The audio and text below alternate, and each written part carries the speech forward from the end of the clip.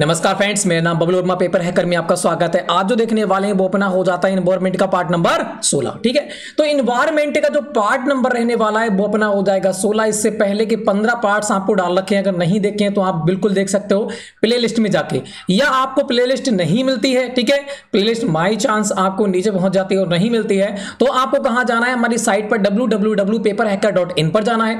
वहाँ जाके आप इन्वायरमेंट का एक बटन मिलेगा, वहाँ जाके आप देख सकते हो कि वहाँ पर आपको प्ले मिल जाती है, ठीक है? तो हमारी साइट पे साइट पे भी जाके आप इनको देख सकते हो, ठीक है? और जिस किसी को पीडीएफ डाउनलोड करना है पीडीएफ नोट्स डाउनलोड करना है, ठीक है? तो वो भी कहाँ से डाउनलोड करेंगे? हमारी साइट से डाउनलोड करेंगे www.paperhacker.in से, ठीक है? तो वहाँ जाके आपको सारे के सारे मिल जाते हैं इंपोर्टेंट क्वेश्चन भी वहीं पर आपको देखने को मिलने वाले हैं। तो हमने पार्ट पंद्रह तक क्या देख लिया? हमने देख ली यूनिट नंबर जो यूनिट नंबर थर्ड थी, वो हमने कहाँ पर कवर कर ली थी? पार्ट पंद्रह तक कवर कर ली थी। अब हम क्या पढ़ने वाले हैं? यूनिट नंबर फोर को पढ़ने वाले हैं और हमारी लास्ट यूनिट होने वाली है। तो बात करते हैं यूनिट नंबर फोर की, जिसमें हमें क्या देखने को मिल सकता है? जैसे आ में देखें, मुख्य पर्यावरणीय प्रदूषण की समस्याएँ। जो मुख्य पर्यावरण की प्रदूषण की समस्याएँ वगैरह होती है, वो देखने को मिलती है। जैसे कि आपको देखने को मिलेगा ग्रीन हाउस प्रभाव, ठीक है? और अम्लीय वर्षा और ओजोन क्षण यहाँ पर आपको देखने को मिलता है। तथा बाम में देखें, निम्नलिखित प्रकार के प्रदूषण का नियंत्रण देखने को मिलेगा। तथा प्राकृतिक संसाधनों का बचाव देखने को मिलेगा। और वन्य जीवन संरक्षण भी यहाँ पर देखने को मिल जाते हैं। तो यूनिट नंबर फोर में हम ये चीज़ देखने वाले हैं। बढ़ते फटाफट क्वेश्चनों की ओर। फ़र्स्ट क्वेश्चन आपके सामने कुछ इस प्रकार से हो जाता है। सभी लोग यहाँ पर आंसर देने की कोशिश करेंगे। बात करते हैं क्वेश्चन नंबर वन की। क्वेश्चन नंबर वन हमारा कह रहा है, कौन सा एक वन विनाश का कारण नहीं है? कि वन विनाश का कारण कौन सा नहीं है, वह आपको बताना है। पहला, व्यापारिक कृषि, औद्योगिकरण बानाग्नि बाढ़। तो राइट आंसर में बताना है, कौन सा होगा? वन विनाश का कारण नहीं है। देखो, बाढ़ की बात करते हैं, बाढ़ आएगी तो वन विनाश बिल्कुल होगा। औद्योगिकरण, क्योंकि आपको पता है, जो बोर्ड वगैरह होते हैं प्लाई बोर्ड वह किसके बनाए जाते हैं? लकड़ी के ही। तो वन विनाश यहाँ पे भी देखने को मिल जाता है। बनाग्नि बन में लगने वाली आग। किसको क्या कहते हैं? बनाग्नि कहते हैं। तो इसमें भी क्या होगा? बनों का विनाश होगा। मगर जो व्यापारिक कृषि है, जैसे कि धान, गेहूँ, है ना? और मक्का, बाजरा करना, ये कैसी है? इसमें वन विनाश देखने को नहीं मिलता है। तो right answer option number A हो जाएगा। नेक्स्ट बढ़ते हैं। कौन सी एक पशु प्रजाति विलुप्त प्राय स्थिति में है? तो विलुप्ति के कगार पर कौन सी प्रजाति है? वह आपको बताना है। काला पांडा या अपना काला हिरन, बाघ, या फिर सफ़ेद भालू। तो राइट आंसर बताना है, कौन सा हो जाएगा? कौन सी एक पशु प्रजाति विलुप्त प्राय स्थिति में है? तो राइट आंसर होगा सफ़ेद भालू। ऑप्शन नंबर डी बिल्कुल राइट आंसर नेक्स्ट बढ़ते हैं। यहाँ रखा है, प्रदूषित पानी में होता है। जो प्रदूषित पानी होता है, उसमें क्या होता है? अपव्यय होते हैं, गंदगी, प्रदूषण या फिर जीवाणु। तो ये रिपीट क्वेश्चन है। दूषित पानी में क्या होगा? प्रदूषण होगा। क्या होगा? प्रदूषण होगा। राइट आंसर होगा option number C next question की बात करते हैं। रखा एक मौन क्षेत्र है। एक मौन क्षेत्र कौन सा है? वह आपको यहाँ पर बताना है। तो बात करते हैं पहला अस्पताल। क्लब प्रिंटिंग प्रेस या फिर हो जाता है कारखाना। तो राइट आंसर हमारा क्या होगा? फटाफट आंसर दीजिएगा। देखो, बात करते हैं। कौन एक मौन मौन मतलब क्या होता है? बिल्कुल मुँह बंद करते हैं ना, आवाज़ नहीं आनी चाहिए, है ना? आवाज़ नहीं आनी चाहिए। तो एक मौन क्षेत्र कौन सा होगा? देखो, कारखाने में बिल्कुल आवाज़ आएगी, ये तो खत्म है। प्रिंटिंग प्रेस ये भी करेगी। और क्लब भी करेगा। मगर अस्पताल जो है, वो कैसा क्षेत्र होता है? एक मौन क्षेत्र होता है। तो राइट आंसर ऑप्शन नंबर एक ही ओर जाएँगे। नेक्स्ट बढ़ते हैं।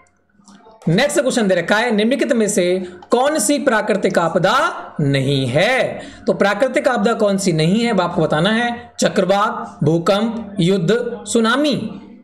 सुनामी प्राकृतिक आपदा है, भूकंप भी प्राकृतिक आपदा है, चक्रवात भी कैसी है? प्राकृतिक आपदा। मगर युद्ध की बात करते हैं, ये कैसी है? कृत्रिम है, क्योंकि मानव के द्वारा किया जाता है।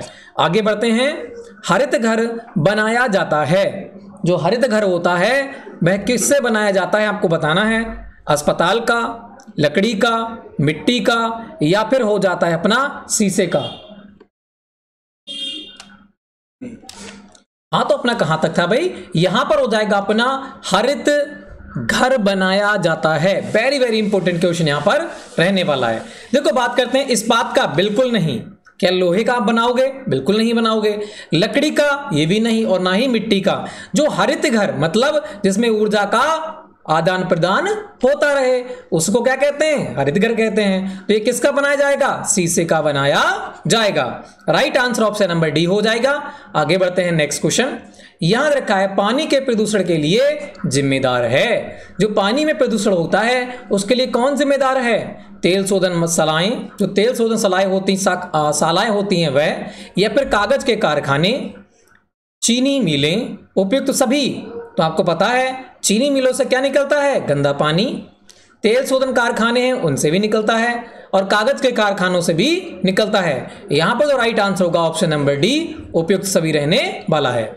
आगे बढ़ते हैं। विश्व में अम्ल वर्षा से सर्वाधिक प्रभावित देश है। वेरी वेरी इंपोर्टेंट क्वेश्चन है। एग्ज़ाम में आने की 95 परसेंट यहाँ पर चांस हो जाते हैं। बात करते हैं, विश्व में अम्ल वर्षा के सर्वाधिक प्रभावित देश है। चीन, नॉर्वे, जापान या फिर ब्राज़ील? तो राइट आंसर हमारा क्या होगा? तो बात करते हैं अम्ल वर्षा जब कभी आपको वर्षा देखने को मिले तो आप बा देख लीजिएगा। बा से वर्षा और बा से ब्राज़ील। तो राइट आंसर ऑप्शन नंबर हो जाएगा अपना डी नेक्स्ट बढ़ते हैं। नेक्स्ट क्वेश्चन की बात करते हैं। निम्नलिखित में से कौन सा एक भारत का सबसे बड़ा घरेलू वायु प्रदूषक है। जो घरेलू वायु प्रदूषक कौन सा है और होना चाहिए सबसे बड़ा? पहला ओजोन रेडॉन कार्बन मोनोऑक्साइड या फिर अपना हो जाता है फार्मेल्डिहाइड। तो राइट आंसर हमारा क्या रहने वाला है? बात करते हैं भा, भारत का सबसे बड़ा घरेलू वायु प्रदूषक कौन सा है? तो वह हो जाता है कार्बन मोनोऑक्साइड। सीओ ये क्वेश्चन बहुत बार रिपीट हो चुका है। इसका 100 परसेंट चांस है कि आपके एग्ज़ाम में देखने को मिलने वाला है। आगे बढ़ते हैं, नेक्स्ट क्वेश्चन। यहाँ रखा है मृदा संरक्षण प्रक्रिया है जहाँ। मृदा संरक्षण प्रक्रिया है जहाँ क्या देखने को मिलता है? मिट्टी में उर्वरक मिलने, मिट्टी में उर्वरक मिलते हैं। मिट्टी को वायु प्रभावित करते हैं। मिट्टी को अपर्दन से बचाते हैं। मिट्टी का अपर्दन होता है। तो मृदा संरक्षण प्रक्रिया है। जहाँ क्या होता है आपको बताना है। तो आपको पता है, मृदा संरक्षण की जा रही है मतलब इकट्ठी की जा रही है। तो क्या होगा? मिट्टी को अपर्दन से बचाना होगा। तो राइट आंसर होगा ऑप्शन नंबर सी नेक्स्ट बढ़ते हैं। ध्वनि प्रदूषण मुख्य रूप से प्रभावित करता है। जो ध्वनि प्रदूषण है, वो मुख्य रूप से क्या प्रभावित करता है? मानसिक असामान्यता, दांत हड्डी या फिर इनमें से कोई नहीं। आपको पता है, ध्वनि प्रदूषण आपके आसपास बहुत सारी, बहुत ज़्यादा हो जाती है। तो क्या देखने को मिलती है? मानसिक असामान्यताएँ देखने को मिलती हैं। तो right answer option number A हो जाएगा, जिसमें न्यूरॉन्स वगैरह काम नहीं करते हैं। आगे बढ़ते हैं। जैविक खेती संबंधित है। जो जैविक खेती है, वह किससे संबंधित है? उर्वरकों के प्रयोग से, कीटनाशी के प्रयोग से, खतर खरपतवारनाशी के प्रयोग से कार्बनिक पदार्थों के प्रयोग से। तो राइट आंसर क्या होगा? जैविक खेती संबंधित है। तो आपको पता है, जो सड़े गले पदार्थ होते हैं, उनसे क्या बनाई जाती है? जैविक खाद और जैविक खेती में उन्हीं का प्रयोग होता है। तो कह रहा है, जैविक खेती किस संबंध है। तो यह हो जाती है कार्बन पदार्थों के प्रयोग से। राइट आंसर हो जाएगा ऑप्शन नंबर डी नेक्स्ट बढ़ते हैं। नेक्स्ट क्वेश्चन की बात करते हैं। प्रति व्यक्ति ग्रीन हाउस गैस का उत्सर्जन विश्व में सबसे अधिक होता है। कह रहा है, प्रति व्यक्ति ग्रीन हाउस गैस जो प्रति व्यक्ति ग्रीन हाउस गैस है, उसका उत्सर्जन विश्व में सबसे अधिक होता है। कहाँ होता है? अमेरिका में, ऑस्ट्रेलिया में, चीन में या फिर जापान में? तो राइट आंसर हमारा क्या होगा? ये क्वेश्चन रिपीटेड हो चुका है। तो प्रति व्यक्ति ग्रीन हाउस गैस का उत्सर्जन विश्व में सबसे अधिक होता है अमेरिका में। राइट आंसर हो जाएगा ऑप्शन नंबर ए आगे बढ़ते हैं नेक्स्ट क्वेश्चन की ओर। नेक्स्ट क्वेश्चन की बात करते हैं। वैश्विक ताप के प्रभाव से होता है।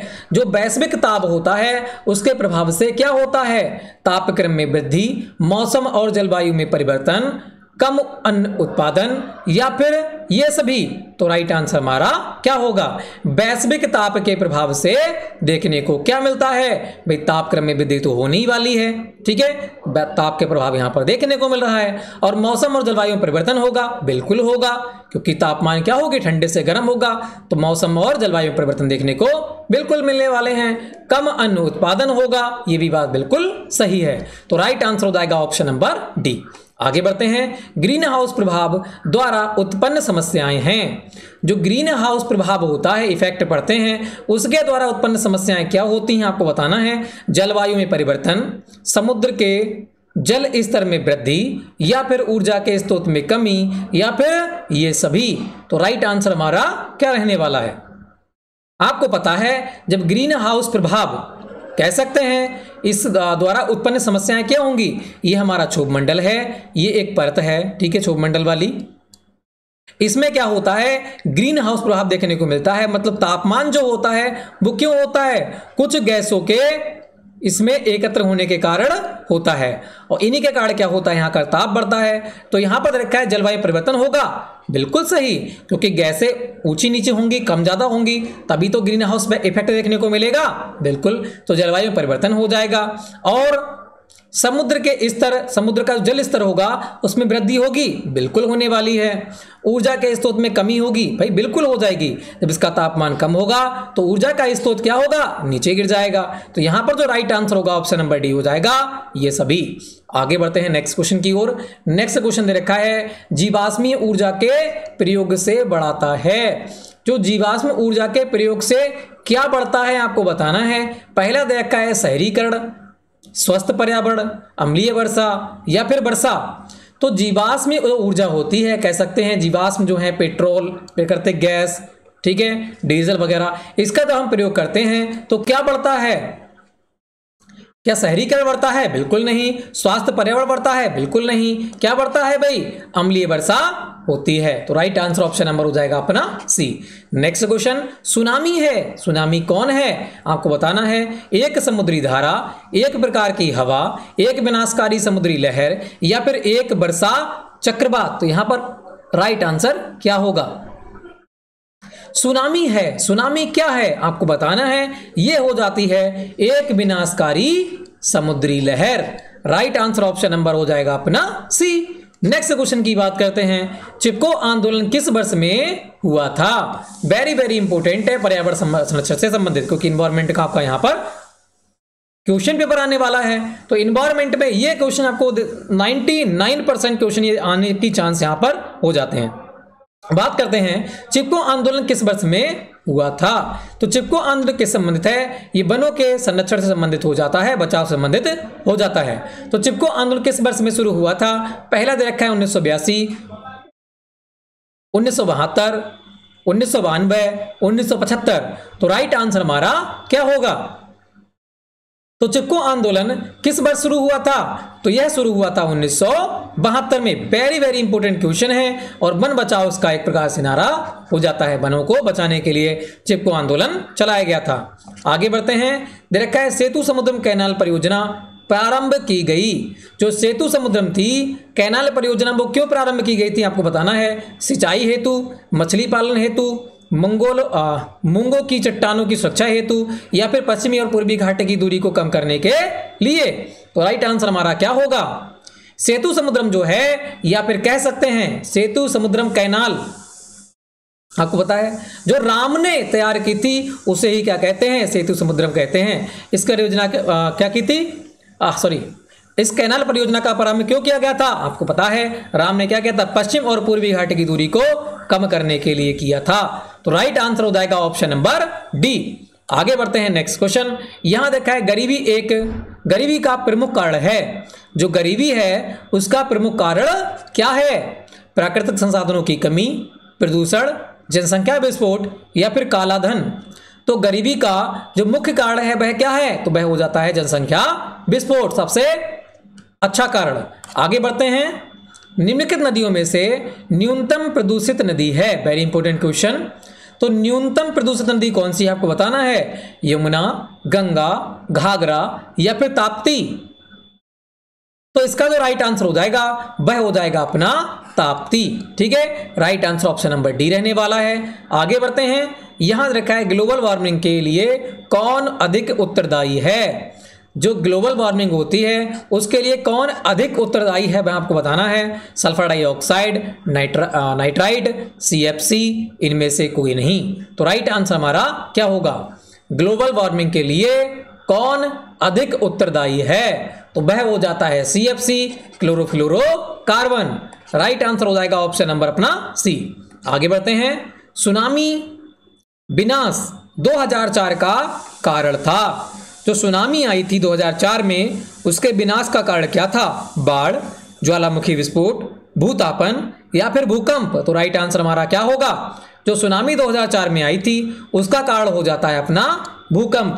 राइट आंसर हो जाएगा ऑप्शन नंबर डी नेक्स्ट बढ़ते हैं। जल संकट का प्रमुख कारण है। जो जल संकट है, उसका प्रमुख कारण क्या है, ये आपको बताना है। तापमान में वृद्धि, अत्यधिक दोहन, नगरीयकरण, या फिर अपना हो जाता है औद्योगिकरण। राइट आंसर हमारा क्या होगा? जल संकट का प्रमुख कारण हो जाता है। तो वह कौन है? जल संकट। जल संकट कब देखने को मिलेगा? जब आप अत्यधिक दोहन कर चुके होंगे। तो राइट आंसर होगा ऑप्शन नंबर बी आगे बढ़ते हैं। अत्यधिक दोहन किसे कहते हैं? जिस प्रकार से हम ज़मीन से पानी को बहुत ही ज़्यादा मात्रा में निकाल रहे हैं, है ना? तो उस प्रकार को उसी ही उसी को ही कहते हैं अत्यधिक दोहन। तो इस प्रकार से जल संकट का मुख्य कारण क्या है? अत्यधिक दोहन हो जाता है। क्यों हो जाता है? आपको पता है, ट्यूबवेल वगैरह लगाई गई हैं। तो जो छोटे नलकूप होते हैं, ट्यूबवेल जब चलाई जाती हैं तो छोटे नलकूप पानी देना क्या कर देते हैं? बंद कर देते हैं। ठीक है? इसी प्रकार से अत्यधिक दोहन देखने को मिल रहा है। क्योंकि जनसंख्या वृद्धि होती जा रही है। ठीक है? इसलिए जल संकट का मुख्य कारण क्या हो जाता है? अत्यधिक दोहन हो जाता है। आगे बढ़ते हैं। यहाँ रखा है मोबाइल फ़ोन के सीमित उद्योग उपयोग के उपयोग की सलाह दी जाती है। मोबाइल फ़ोन की सीमित उपयोग मतलब जितना उपयोग है, उतना ही करो। इसकी सलाह क्यों दी जाती है? इसका कारण क्या है? ये आपको यहाँ पर बताना है। ध्वनि प्रदूषण, रेडियो तरंग उत्सर्जन या फिर वायु प्रदूषण, इनमें से कोई नहीं। राइट आंसर हमारा क्या होगा? बात करते हैं, मोबाइल फ़ोन के सीमित उपयोग की सलाह दी जाती है। इसका कारण होता है रेडियो तरंग उत्सर्जन। राइट आंसर हो जाएगा option number B next question की बात करते हैं ऑपरेशन फल्ड संबंधित है। ऑपरेशन फल्ड जो है, वो संबंधित है किससे? बाढ़ बाढ़ के, बाढ़ से बचाव, बाँध निर्माण दुग्ध उत्पादन या फिर मत्स्य उत्पादन। तो जो ऑपरेशन फंड है, ये वेरी वेरी इंपॉर्टेंट क्वेश्चन है। ये आपसे पूछेगा, ऑपरेशन फंड कब चलाया गया था? तो इसको आपको कहाँ देना है आंसर? कमेंट बॉक्स में लिखना है। ये क्वेश्चन 100 परसेंट आने की संभावना है कि ऑपरेशन फंड कब चलाया गया था और किससे संबंधित हो जाता है। तो ऑपरेशन फंड संबंधित किससे है? ये हो जाता है बाढ़ से बचाव के लिए। और ये कब चलाया गया था? ये आपको बताना है। नेक्स्ट क्वेश्चन की बात करते हैं। गिरी राष्ट्रीय पार्क किस राज्य में है? तो जो गिरी राष्ट्रीय पार्क है, वह किस राज्य में है? राजस्थान, गुजरात, मध्य प्रदेश, महाराष्ट्र। राइट आंसर हमारा क्या होगा?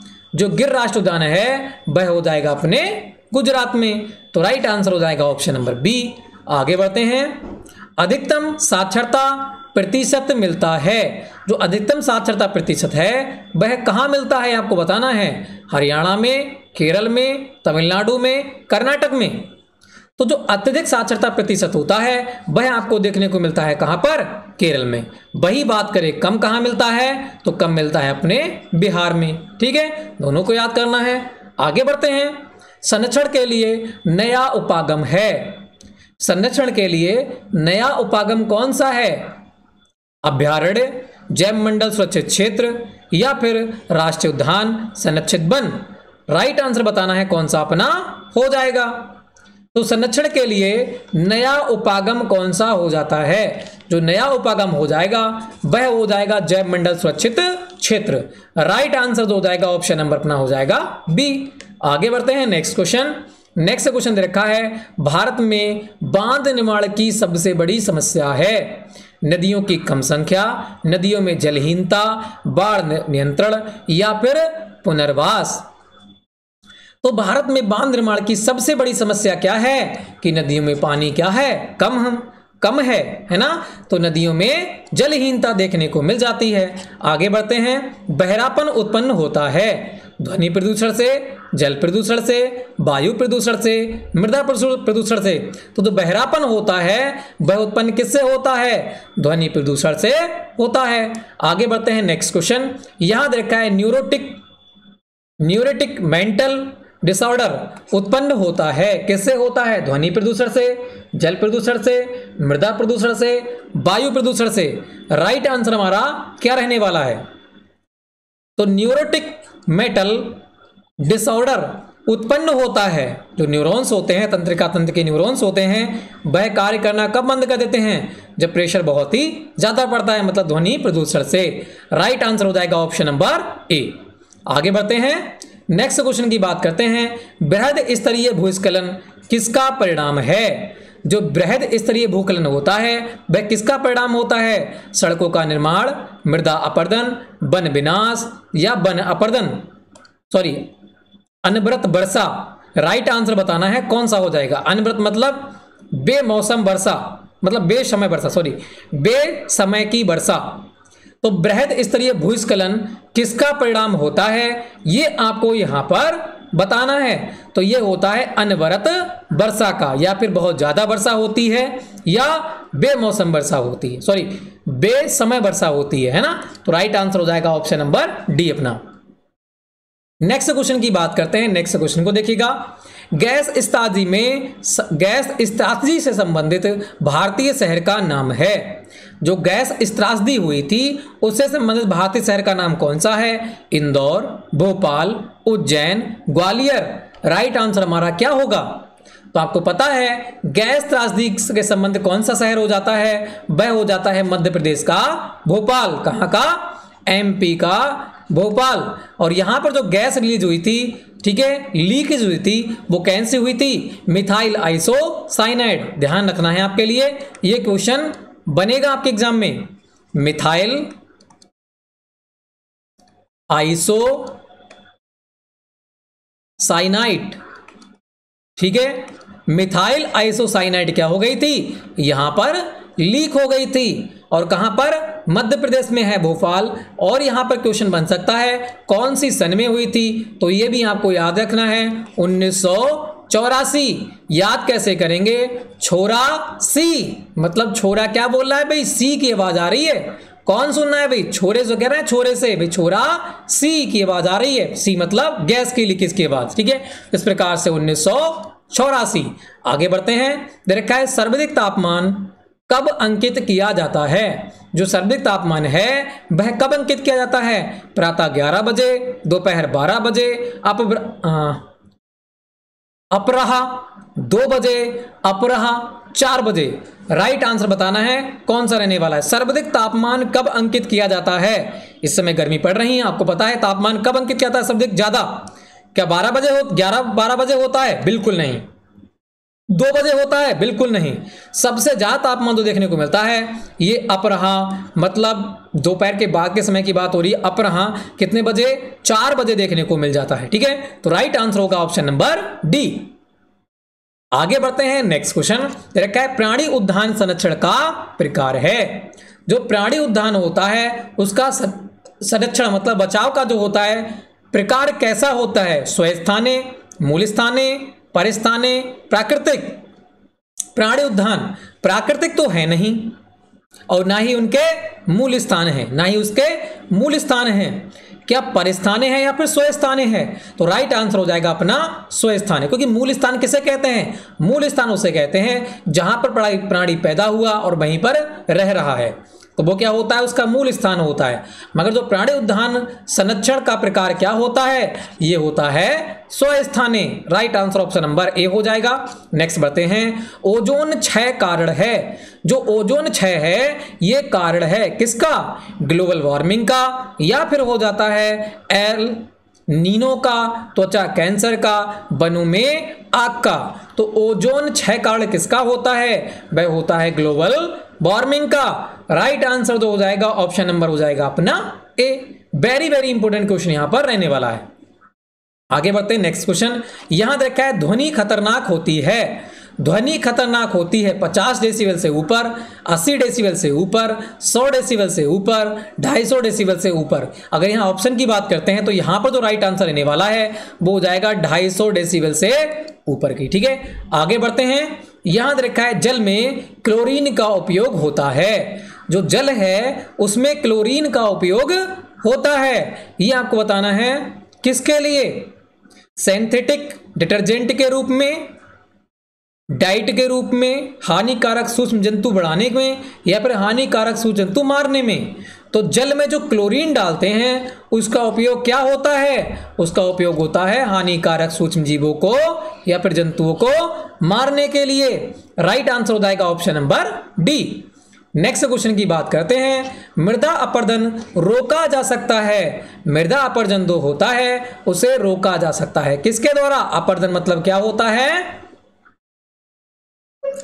अपर्दन जो मिट्टी ऊपर की होती है, वह किसी वायु द्वारा, नदियों को द्वारा बहाकर एक जगह से दूसरी जगह ले जाना, क्या कहलाता है? मृदा अपर्दन कहलाता है। तो मृदा अपर्दन रोका जा सकता है अति चरवाही से, वन विनाश से, वन लगाने से, वनस्पति हटाने से। अरे, वनस्पति हटाएँगे तो अपर्दन और होगा। वन लगाने से वन विनाश से तो मृदा अपर्दन रोका जा सकता है किससे? वन लगाने से। राइट आंसर हो जाएगा ऑप्शन नंबर सी हो जाएगा। नेक्स्ट बढ़ते हैं। भारत में जनसंख्या वृद्धि का मुख्य कारण है। जो भारत है, उसमें जनसंख्या वृद्धि का मुख्य कारण क्या होता है? सामाजिक दबाव, विकास, अशिक्षा या फिर अंधविश्वास स्वभाव तो राइट आंसर हमारा क्या होगा? बाद में जनसंख्या वृद्धि का जो मुख्य कारण होता है, वह अपना हो जाता है कौन? अशिक्षा। क्योंकि भारत में अशिक्षा है, इसलिए जनसंख्या वृद्धि बढ़ती जा रही है। आगे बढ़ते हैं। वनों के विनाश के दुष्परिणाम हैं। जो वनों के विनाश हैं, उनके दुष्परिणाम क्या क्या देखने को मिल सकते हैं? वायु प्रदूषण वृद्धि, वन्य जीवन का ह्रास, मरुस्थलीकरण, या ये सभी? तो बिल्कुल वनों के विनाश के दुष्परिणाम क्या होंगे? वायु प्रदूषण में वृद्धि होगी, वन्य जीवन का ह्रास हो जाएगा मरुस्थलीकरण देखने को मिलेंगे। तो राइट आंसर क्या होगा? ऑप्शन नंबर डी हो जाएगा। ये सभी देखने को यहाँ पर मिलने वाले हैं। आगे बढ़ते हैं। रेडियो धर्मिता का ऐसाई मात्रक है। जो रेडियो धर्मिता है, उसका ऐसाई मात्रक क्या होता है? क्यूरी, रेड या फिर बैक्यूरल या रैम। राइट आंसर हमारा क्या होगा? जो रेडियो धर्मिता है, उसका ऐसा ही मात्र क्या होता है? क्यूरी होता है। Right answer option number A हो जाएगा। नेक्स्ट बढ़ते हैं। ओजोन क्षय के लिए उत्तरदायी गैस है।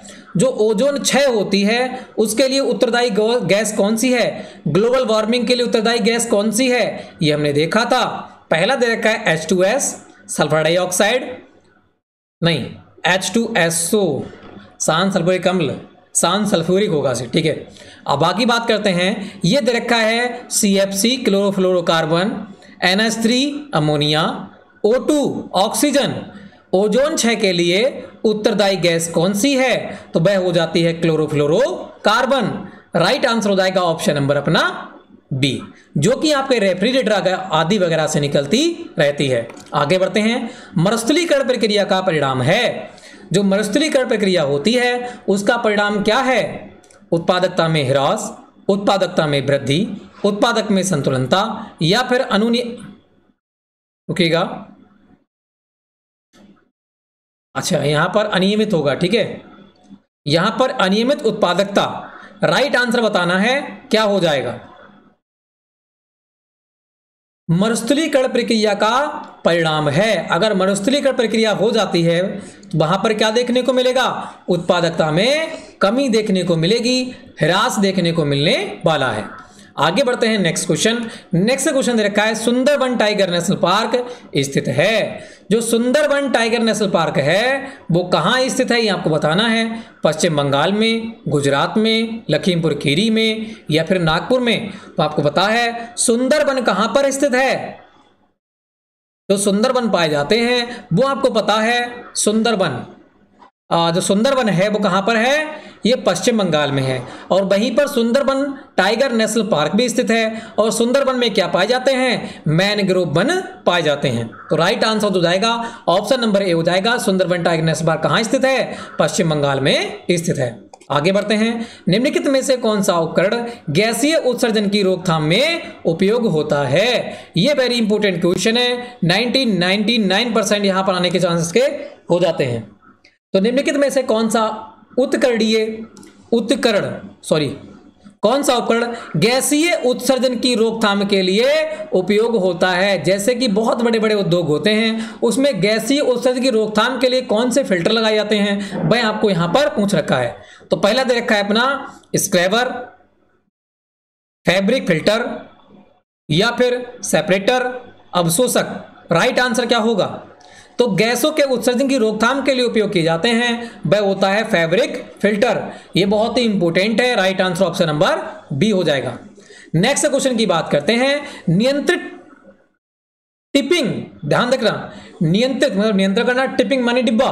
ठीक है? बॉक्स तो नियंत्रित टिपिंग या फिर लैंड फिल है। आपको बताना है है क्या ये? ठीक है? तो पहला देखा है व्यर्थ पदार्थों को छोटे क्षेत्र में एकत्रित करने की प्रक्रिया। या फिर भूमि को भरना, या हो जाता है व्यर्थ पदार्थों के अपघटन में वृद्धि या भस्मीकरण। तो राइट आंसर हमारा क्या होगा? नियंत्रित मतलब इकट्ठा करना टिपिंग मतलब डिब्बे में। तो वही हो जाता है कि व्यर्थ पदार्थों को छोटे क्षेत्र में एकत्रित करने की प्रक्रिया हो जाती है। Right answer option number A हो जाएगा। आपको नियंत्रित टिपिंग भी दे सकता है या आपको सिर्फ़ लैंड फिल भी दे सकता है। इसलिए आप ये तो याद ही कर जाएँगे, आपको बता ही दिया। बस लैंड फिल आपको याद करना है कि लैंड फिल को क्या कहा जाता है? व्यर्थ पदार्थों के छोटे क्षेत्र में एकत्र करने की प्रक्रिया को कहा जाता है लैंडफिल। आगे बढ़ते हैं नेक्स्ट क्वेश्चन, और ये हमारा लास्ट क्वेश्चन रहने वाला है इस वीडियो का। देखा है ग्रीन हाउस प्रभाव की खोज की थी।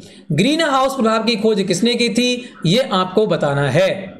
पहला दे रखा है, Joseph Steven, Joseph Fourier Albert Einstein Hargobind Khurana. तो राइट आंसर हमारा क्या होगा? ग्रीन हाउस प्रभाव की खोज की थी। किसने? जोसेफ फुरियर ने। किसने? जोसेफ फुरियर ने। तो राइट आंसर हो जाएगा option number B very very very important question हमारा हो जाता है। तो यहाँ पर हमारे 50 क्वेश्चन हो जाते हैं। कंप्लीट यूनिट नंबर फोर के। इससे तीन से दो से तीन वीडियो ही और बनेंगी। उसके बाद आपका इन्वॉल्वमेंट जो हो जाएगा वो खत्म हो जाएगा। ठीक है? अगर वीडियो अच्छी लगी हो तो लाइक से सब्सक्राइब दबाकर ठोकना है सभी के लिए। ठीक है? और फ्रेंड्स बेल आइकन को प्रेस करना ना भूलिएगा, क्योंकि नोटिफिकेशन आपके घर पहुँचे। ठीक है? नोटिफिकेशन क्या पहुंचेगा? आपके घर तभी पहुंचेगा जब आप बेल आइकन पर प्रेस कर दोगे। तो फ्रेंड लाइक करना शेयर करना चैनल को सब्सक्राइब कर देना बेल आइकन को प्रेस कर देना। तो फ्रेंड जय हिंद, जय भारत।